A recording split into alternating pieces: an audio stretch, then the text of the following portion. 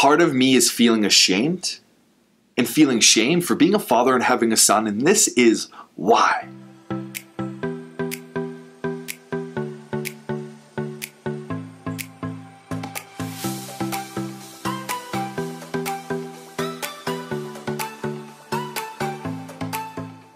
What's up and welcome to the video. This video is going to be vulnerable and it's a story on how I'm carrying shame and how I feel ashamed of being a father and why that came to be and how that came to be and everything about it that I think will really land for single dads, single parents, and parents because sometimes we can feel this. Sometimes we feel less desirable and explain a little bit about what is going on there.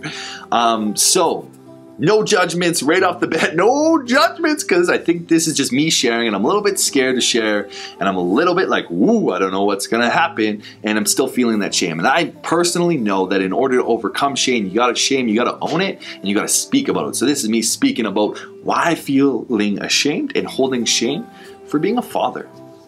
So I'll begin by saying that there is this part of me that just wants woman's love. It just wants to be loved by a woman, a woman. And I think that that comes from my childhood and my relationship with my mom. I always wanted my mom's love.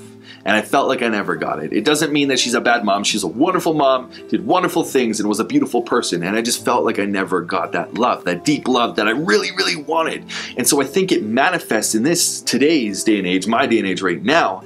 It's like I'll seek the love and want that attention and love from a woman so badly that I'll do whatever it takes. And so I'll do whatever it takes to get onto that love.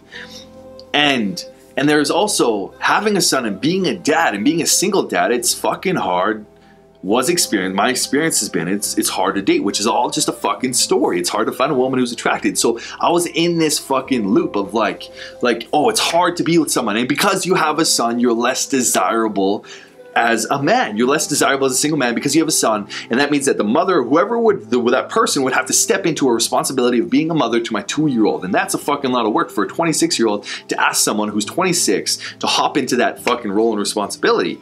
And it's been my experience that on dating apps that it's not like they don't necessarily want that. It's been my experience of like hearing just fucking random negative things from people about that.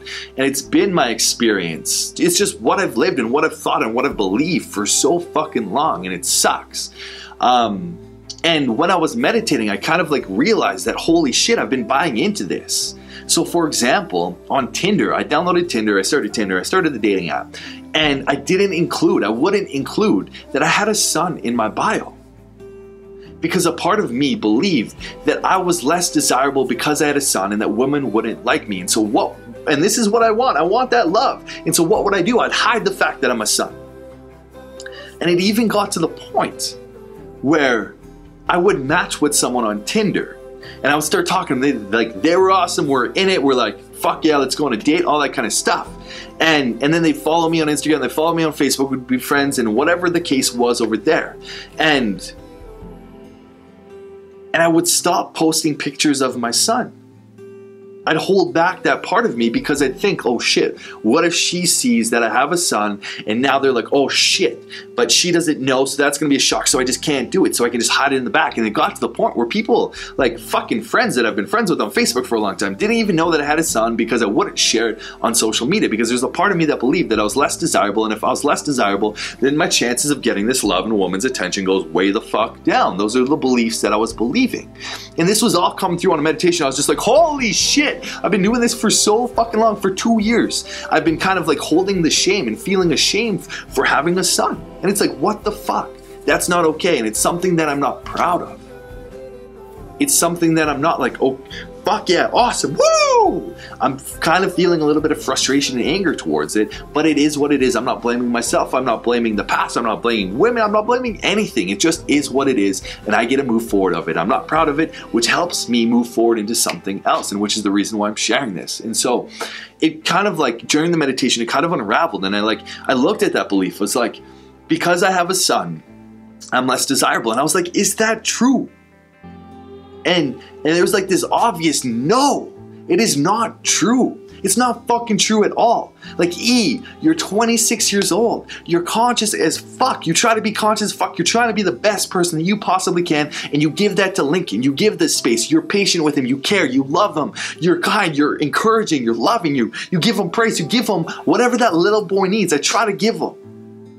And fuck, I give him the world because I love him so much and I love myself so much to give him that space. And it's like, that is a fucking attractive as shit, yo. That is fucking attractive. I'd be fucking attracted to that in a woman. If I saw a woman that was just like fucking loving and nurturing and caring for her kids so fucking deeply and holding that space and still feminine as fuck and in the feminine energy, oh, I'm in it. I'm in, I'm attracted. So it's like that belief was just shattered. It's like, fuck no, that's not true. You are more desirable because you are a dad. You are way more desirable because you are a dad. And that started to click through. And it's like, wow, like during that entire process, and it's probably been about a year that I've been doing this, it's like, E, you were ashamed. You felt a little bit of shame for being a, like, for having a son and for being a father. It's like that is a journey that not many people get to go on. That's a journey that you should be proud as fuck to be on. That's a journey that like that that that inspires and gives you love and creates that for you. And if if there's a woman who doesn't like this, she's not for you. And that's fucking fine and beautiful and I love you and go do your own thing and do that and rock that. And that's awesome. It's like you will find that one. And I think that other dads, other parents, other single parents, other people can fucking relate. Like, like, sure, it can be challenging to find someone. Sure, it can be challenging to date someone with kids. But it is the most beautiful, most rewarding, most loving thing that I think is going to happen for me. And I think that can happen.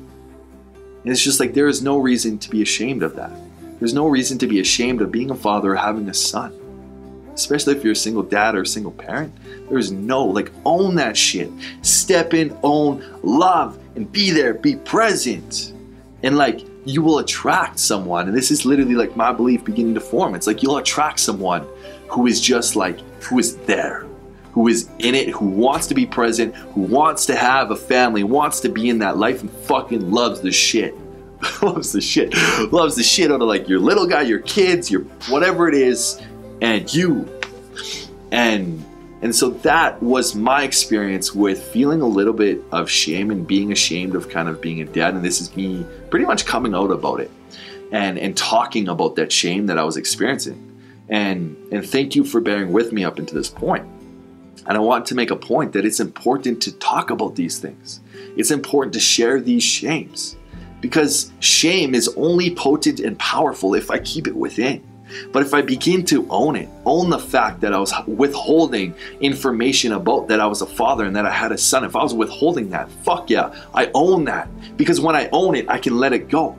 It's kind of like this if this was just sitting on my knee and this is the shame of me being ashamed of being a dad. Okay, I'm gonna try to get rid of it without owning it and picking it up. Like, go, go, leave, leave, leave, right? It just stays. And so until I own it, I pick it up and I hold it in my hand and I look at it. It's like I was ashamed of being a father and being a dad because I thought it made me less desirable as a man, which I know is not true now. It's like I own this. I share with you what's happening. And then I can let it go and I can move on into something more beautiful, more epic, and something that feels better for me because that definitely wasn't feeling good. So, if you're up and you're watching this point, thank you so much for watching and and spending your time with me. I hope I added value to you, and I know that I did if you're still here watching this. So thank you. I ask that if you're new to the family, you're new to me, you're new to Lincoln, you're new to I, that you subscribe to the message just down below. Just by clicking that big old red button, it really supports everything and supports and encourages this message to go out. Also, feel free to like and comment what came up for you. Do you agree? Do you not agree? Have you felt similar? Have you not felt? Are you like, you're fucking crazy? Or you're like, holy shit, I've done the same thing. Share that with me. I want to know what's coming up for you. I want to know what was going on for you during the time of this video and what happened. So, always definitely feel free to drop a comment down below and share this message if you feel like there are people in your life that need to hear it. So, with that, deep breath. The love in me sees the love in you. I hope you guys have a wonderful day. Thank you so much for watching, and I cannot wait to see you on the next video.